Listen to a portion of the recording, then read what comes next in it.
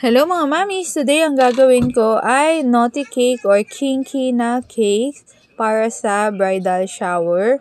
Tapos, red velvet yung in-order ni customer and then 8 by 3 yung size niya pero lampas sa 3 inches yung size nito. Ang pinalaman ko lang dito ay ano to, parang uh, whipping cream pa din na siya, caramel cream, tapos nilagyan ko lang siya ng ano, yema caramel na ganyan. Ta ang sobrang ano to, moist na tong red velvet na to sa tapos as in promise ang sarap niya talaga. Um, personal recipe ko siya, char lang. Hindi totoo. Ano to, um, ano ko na yung gumawa ng recipe niya. Ang sarap talaga. Same yan siya nung ginagamit ko sa ano, sa red velvet na cupcakes.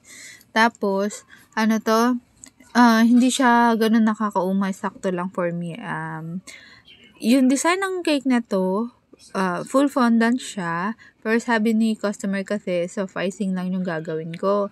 Pero yung topper niya na ano, na para sa bridal showers, syempre, hindi siya kakayanin ng ano. Pwede naman siya sa icing. Nakagawa na din ako before ng icing.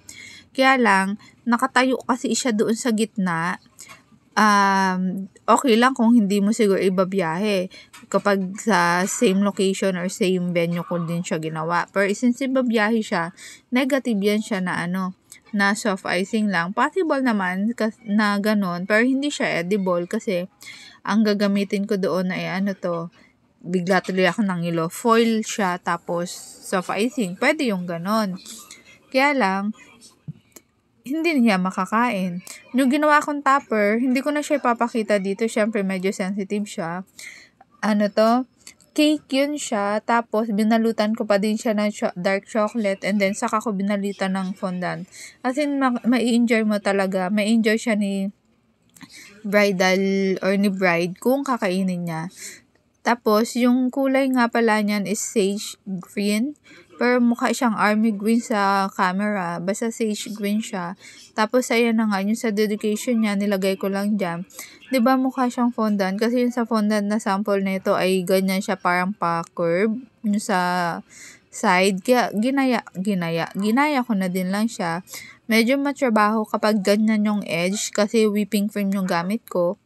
Kaya dapat ano to, uh, medyo smooth siya. As in dahan-dahan ko talaga na pinapakinis or ina-achieve yung edge niyan. Pero kapag sa ibang frosting, ka, madali ano to, mas mabilis siya mapasunod yata na mag-curve ng ganyan.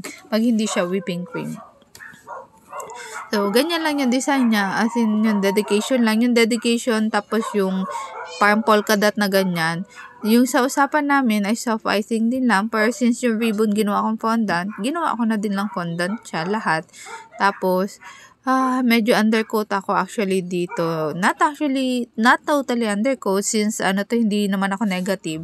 Kumbaga, yun doon lang sa parang dapat charge ko, medyo kinapos ako. Pero okay na din lang. Important is nagustuhan siya ni customer. So, yung gitnang empty space na yan, dyan itatayo, itutusok yung topper. So, yan na yung outcome niya. Ang cute niya lang. Salamat, mga mami. Paalam, ciao!